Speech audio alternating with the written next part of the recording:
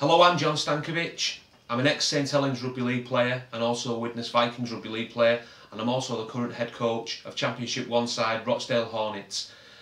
Our kit man is often asking me questions regarding our kit and how we can get it a little bit cleaner when we've played a match on a Sunday afternoon. I suggested using Halo after meeting Paul Ward and the lads from Halo and the product has been absolutely fantastic for us and we continue to use the product on a day-to-day -day basis for cleaning training kit and also match day kit. The product as well is starting to gather quite a lot of interest from the Super League clubs and at this moment in time I'm in the I'm in the middle of talking to numerous Super League clubs about promoting the product and getting the product into their kit men in order to wash their training and match day kits.